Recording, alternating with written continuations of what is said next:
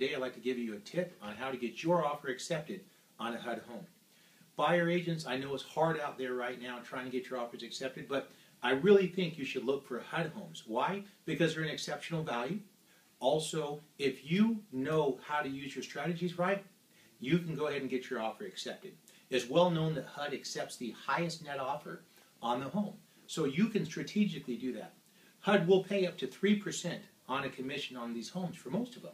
And if that's the case, you can, number one, maybe go ahead and roll your commission back just a little bit. Now, I'm not suggesting you give your money away. Perhaps it's just a couple of dollars here. Maybe it's $10, maybe it's $15, just enough to get the deal done. Also, you can talk to your client and see if they're willing to pay a little bit more, and that's another way to increase net. The third thing you can do is contact your loan officer and really know what the fees that they're going to need to close a deal, and maybe there's some room on that. The point is, you need to have a strategy. Don't wait till the last minute to make your offer. Talk to your loan officer, talk to title and escrow if need be, and certainly consult with your client.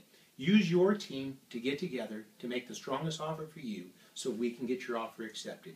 This is Kevin Cooper giving you your update. Thank you so much.